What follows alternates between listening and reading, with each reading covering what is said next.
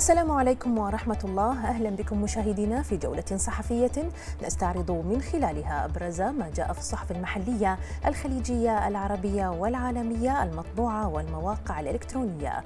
نبدأ من صحيفة البلاد ونقرأ أن عاهل البلاد المعظم صاحب الجلالة الملك حمد بن عيسى الخليفة حفظه الله ورعاه. استقبل في قصر الصخير رئيس ديوان الرقابة المالية والإدارية الشيخ أحمد بن محمد الخليفة حيث رفع إلى جلالته تقرير الديوان السنوي التاسع عشر للسنة المهنية 2021-2022 وخلال اللقاء أشاد صاحب الجلالة الملك المعظم بالجهود الطيبة التي يبذلها رئيس ديوان الرقابة المالية والإدارية والكوادر العاملة فيه ملوها بأدائهم المتميز وما حققوه من إنجازات في إطار المحافظة على المال العام والتحقيق من سلامة ومشروعية أوجه إنفاقه في ظل الحرص على تطبيق أعلى درجات النزاهة والمهنية والشفافية تحقيقا للمصلحة العامة وبما يعود بالخير على الوطن والمواطن. لفتت صحيفة الأيام أن حضرة صاحب الجلالة الملك حمد بن عيسى الخليفة ملك البلاد المعظم حفظه الله ورعاه استقبل عائلة المسلم في قصر الصخير حيث رفعوا إلى جلالته أسمى آيات الشكر والعرفان على تفضل جلالته بأمره الكريم ببناء مجلس للمناسبات لعائلتهم. وقد رحب جلالة الملك المعظم بالجميع وهنأهم بفوز أحمد بن سلمان بن جبر المسلم برئاسة مجلس النواب مقدرا جلالته الجهود التي يبذلها أهل البحرين جميعا في خدمة وطنهم وتطوره وتنميته مشيدا بما يربطهم من تكاتف وأخوة في ظل الأسرة البحرينية الواحدة. نطالع من صحيفة الوطن أن مجلس الوزراء وافق على تصنيف عدد من الكيانات والأفراد كجهات إرهابية وعلى مشروع نظام يضع آلية لعمل لجنة لجنة محاربة التطرف ومكافحة الإرهاب وتمويله وغسل الأموال وتسهيل ممارسة اختصاصاتها. جاء ذلك خلال ترأس صاحب السمو الملكي الأمير سلمان بن حمد آل خليفة ولي العهد رئيس مجلس الوزراء بقصر القضيبية أمس الاجتماع الاعتيادي الأسبوعي لمجلس الوزراء.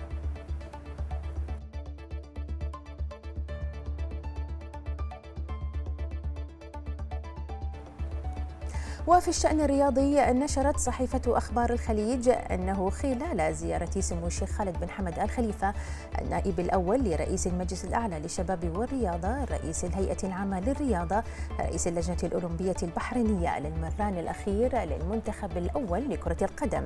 أكد سموه أهمية مواصلة تعزيز الصورة المشرفة لكرة القدم البحرينية ببطولة كأس الخليج العربي الخامسة والعشرين التي ستحتضن تحتضنها مدينة البصرة العراقية بعدما أحرز منتخبنا اللقب لأول مرة في تاريخه في النسخة الماضية خليجي 24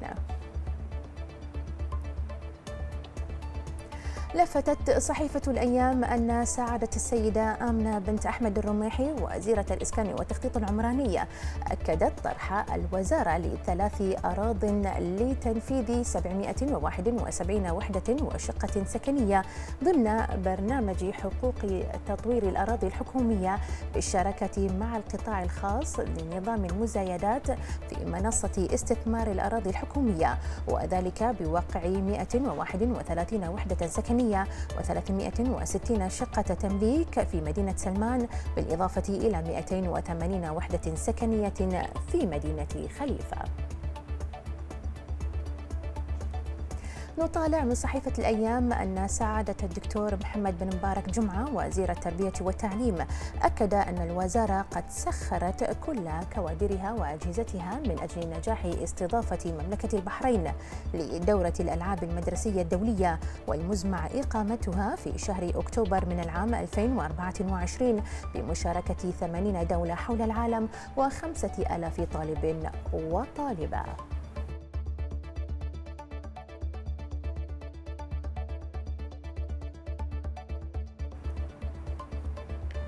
وفي سياق متصل لفتت صحيفة أخبار الخليج أن وفد المنتخب الوطني الأول لكرة القدم يغادر اليوم متوجها إلى محافظة البصرة بجمهورية العراق وذلك للمشاركة في منافسات النسخة الخامسة والعشرين من دورة كأس الخليج العربي لكرة القدم خليج 25 والتي من المقرر أن تنطلق في السادس من شهر يناير الجاري وتستمر حتى التاسع عشر من الشهر ذاته. نشرت صحيفة الوطن أن وزارة الصحة أعلنت عن نقل الخدمات الهاتفية الصحية المقدمة على الرقم 444 إلى رقم الوزارة الجديد 80008100 والذي سيكون متاحا خلال أوقات العمل الرسمية من الساعة الثامنة صباحا وحتى الثانية مساء اعتبارا من اليوم.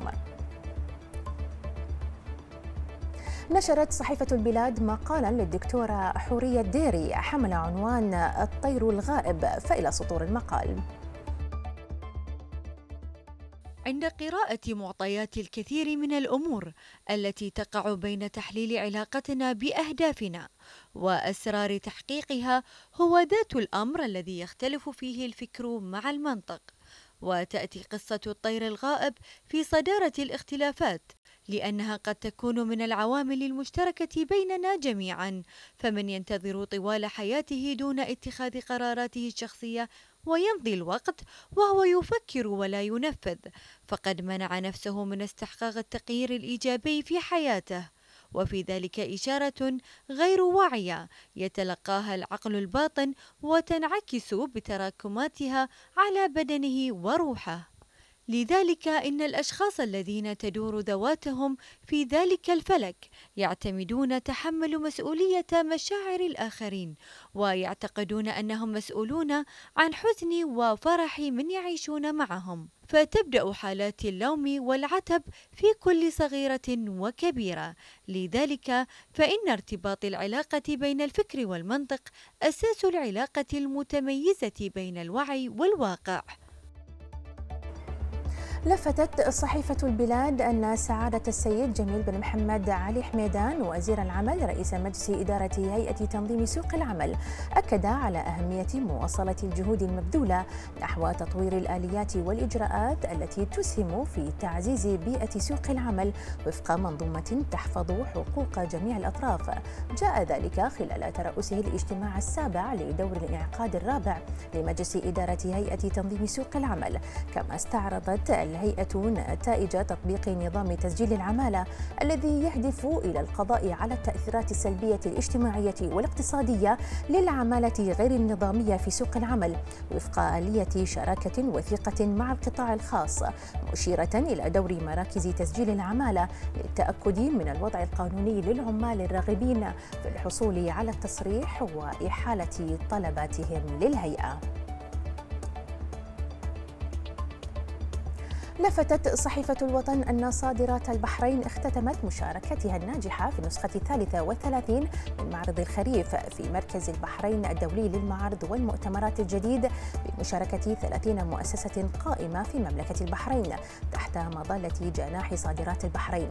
وحظي جناح صادرات البحرين باهتمام كبير وإقبال واسع من قبل أكثر من 160 ألف زائر على مدى تسعة أيام محققا قيمة تزيد عن 150 ألف دولار أمريكي من المبيعات. لفتت صحيفة الوطن أن إدارة الأرصاد الجوية بوزارة المواصلات والاتصالات أعلنت أن الطقس سيكون باردا وممطرا وغائما إلى غائم جزئيا حتى يوم الجمعة المقبل حيث ستكون الفرصة مهيئة لهطول أمطار رعدية في يوم الخميس المقبل.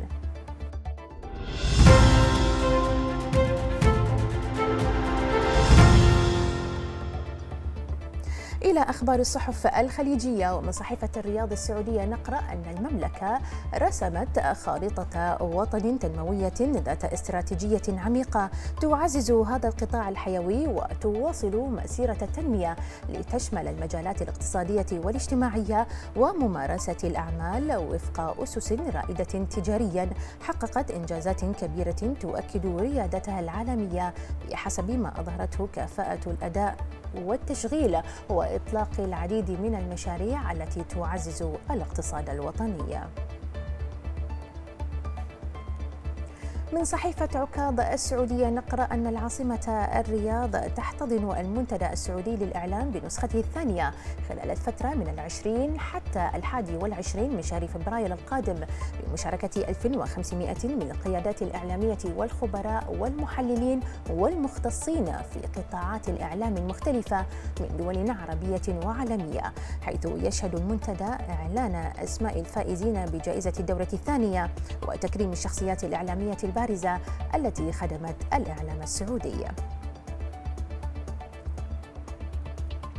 نطالع من صحيفة البيان الإماراتية أن دولة الإمارات تمتلك سجلا حافلا بالمبادرات التي عززت من الاستدامة البيئية بهدف تحفيز النمو الاقتصادي المستدام من خلال تقديم حلول عملية للتحديات البيئية التي يواجهها العالم بما يتماشى مع الأهداف البيئية المحددة في الأجندة الحكومية وتعزيز الجهود والخطط الرامية إلى إثراء المجالات والقطاعات الحيوية كافة من صحيفة الخليج الإماراتية نطالع فيديو ارتفاع حصيلة قتلى وانزلاقات الفلبين إلى 51 شخصاً.